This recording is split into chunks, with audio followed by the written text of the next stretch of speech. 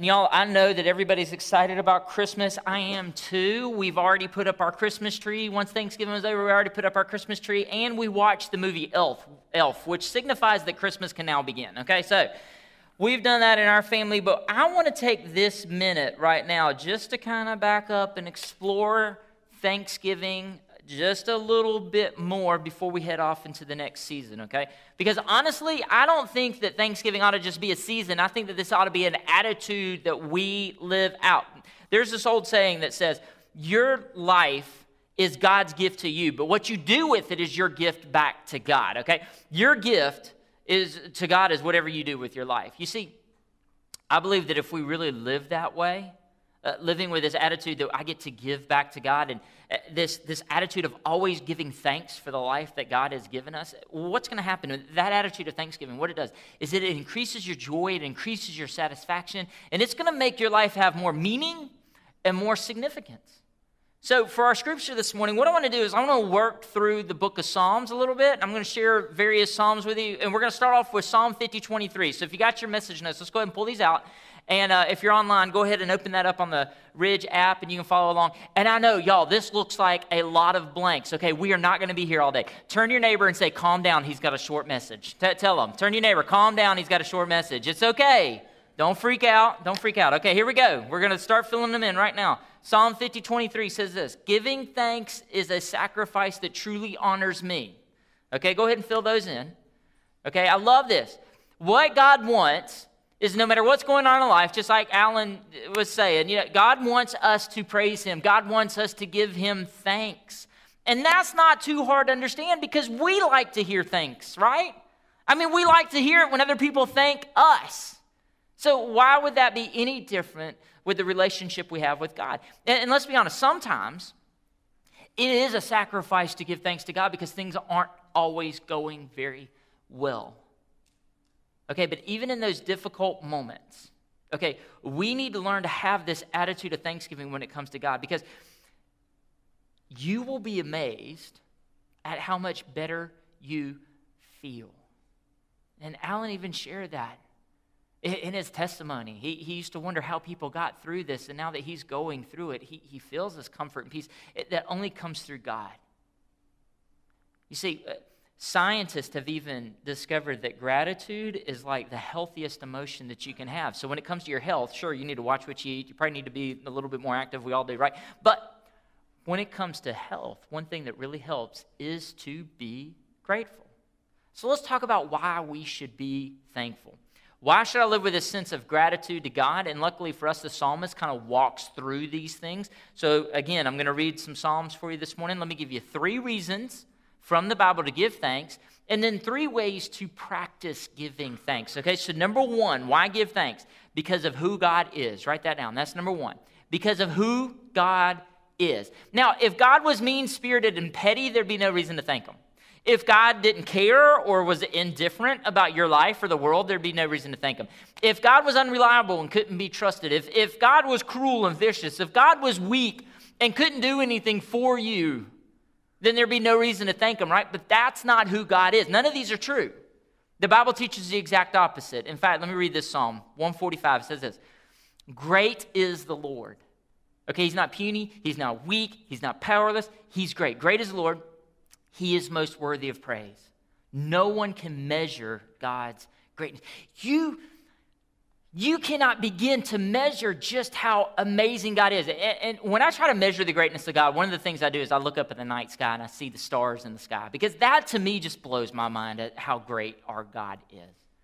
In fact, I'll share this with you. Sometimes uh, Clay and I are the first to arrive on Sunday mornings, and uh, every time we arrive, it's still dark outside. And if you don't know this, I don't know if you know this or not, but Clay worked at the planetarium for 20 years for the school system. And so his knowledge is just uh, amazing. And every now and then he'll drop some knowledge on me and just blow me away. But the other morning, we are unloading the trucks coming in for church, and he looks up in the sky and he goes, Oh, there's Venus.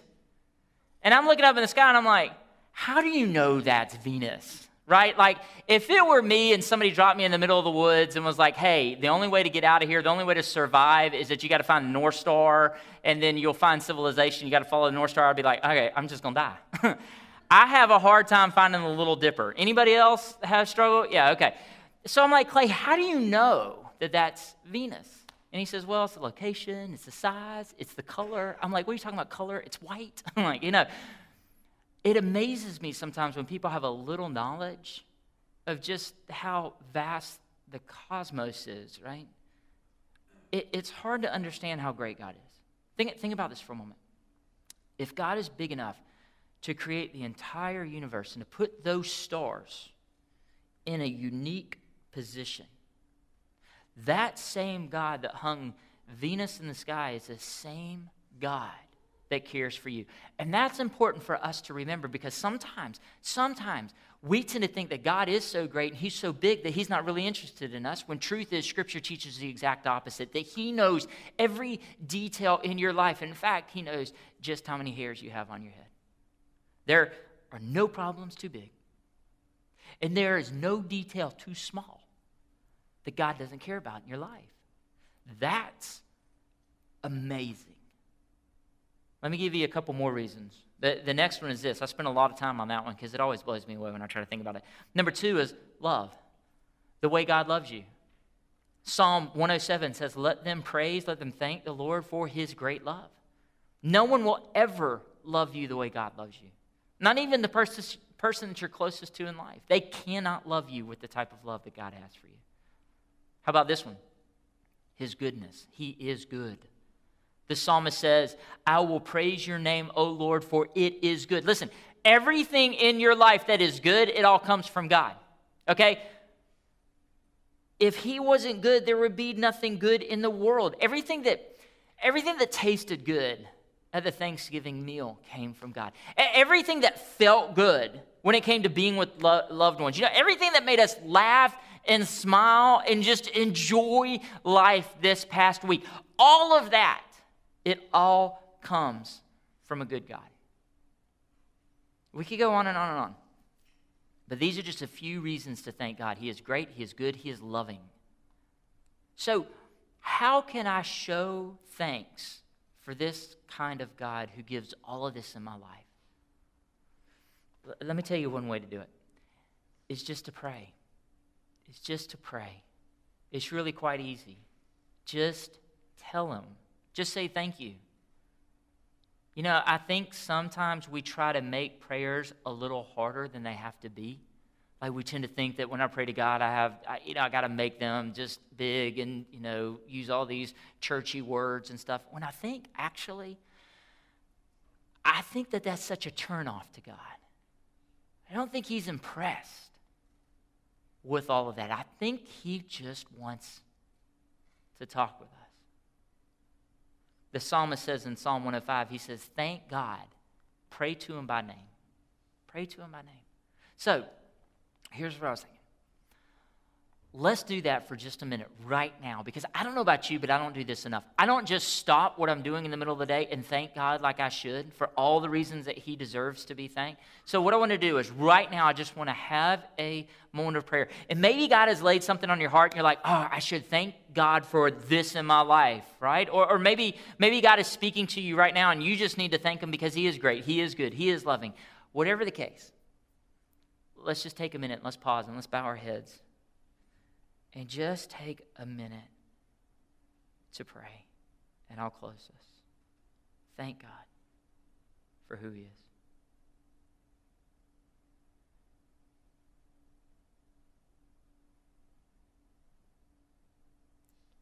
God, hear these prayers. God, we thank you. We praise you for who you are. Lord, some of us, we do this all the time. Some of us, God, wait, this might be new. Or maybe honestly, God, we just haven't prayed in a while. But God, whatever the case, God, right now we bow our heads and we just say thank you for being great, for being good, for loving us like you do. Jesus, we praise you for who you are. It's in your name we pray these things. Amen. Okay, so the first reason God wants us to live with an attitude of gratitude is because of who He is. Second reason, point number two. Here we go. Because of what God has done because of what he has done. Not just for who he is, but for what he's already done. And let's be honest, sometimes it's hard to remember what God has done in our lives when things aren't going so well. So, what exactly has he done? Let me, let me give you a few things, a, a few things to think about, okay? Uh, a few more things that come from the book of Psalms. Number one, He created you. He created you. Everybody should be grateful that He breathed life in, into you. The psalmist says this Let every created thing give praise to the Lord, for He issued His command and they came into being. God issued the command, and boom, you were. At the 915 service, we baptized this little precious Sebastian. Last week, I got to, um, uh, one of the joys of being a pastor is that I get to go in the hospital in a newborn and hold them in my arms. And last week, I got to go see Mo and Jana's little one, Nolan. And every time I hold a newborn in my arms, I always thank God for this new creation. God of this universe, the great, good, loving God, He actually created you. Be thankful for that. Number two, He saved you. Not only did He create you, but He saved you so that you could live with Him forever. That's incredible. Psalm 9 says, I will be full of joy because you have saved me. The third thing is, He answers prayers. He answers your prayer. Psalm 118 says, Lord, I will give thanks to you because you have answered me. If you've ever had a prayer answered, that's a good reason to be grateful. He saved me, He created me, He answers me. Number four, He guides me. He gives direction to my life. If I ask Him, the psalmist says, I praise you, Lord, for being my God. And the thing is, the way God guides us is pretty incredible when you think about all the options that God has available to Him because He uses so many different ways to guide us. We have Scripture. I hope you're in it every day. He uses devotionals like what we're handing out. He uses teachings, like on Sunday mornings. He uses circumstances through life. He uses godly people in your journey group or the people that you're surrounded with. He's, the point is, he is always at work, guiding us and directing, trying to speak to us. Even though we may turn our back on him, he never leaves us. He never stops trying to pull you closer to him. That's amazing. Be thankful for that. And then the last reason is because he died for you. He came to this earth and he died for you. Colossians, I'm going to jump to the New Testament, says this You were dead because you were sinful and you were not God's people. Your sin destroys your life, but God let Christ make you alive when he forgave all our sins. But God brings you to life through Jesus Christ because he gets rid of the sin in our life that causes you to be disconnected to God. If someone came up to you today and said, I'm paying off all your debt, you know, you, you have no more house payment, no more car payments, all your credit cards, all gone. How thankful would you be? in essence, that's kind of what Christ does for us the debt that we have in life. Everything that we've built up through the years, all that sin that just destroys us. Christ gets rid of that on the cross. So if God has already done those things for me, and so much more. How can I show him thanks for what he's done? Let me give you something to think about. The next one, for point number two, how to give thanks for this, is to share. It's just simply share. Tell somebody about Jesus. Very simple. One of the ways you can show your gratitude to God is to tell somebody what he's done in your life.